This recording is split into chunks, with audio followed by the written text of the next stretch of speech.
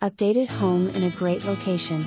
Open concept, kitchen has a huge island with lots of cabinet and counter space, living room has a wood burning stove, bonus room can be a master bedroom with closet space built in.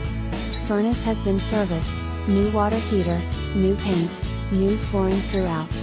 Covered back porch area, new roof, beautiful landscaping on 2 plus acres. Lots of room for RV parking, detached shop with carport.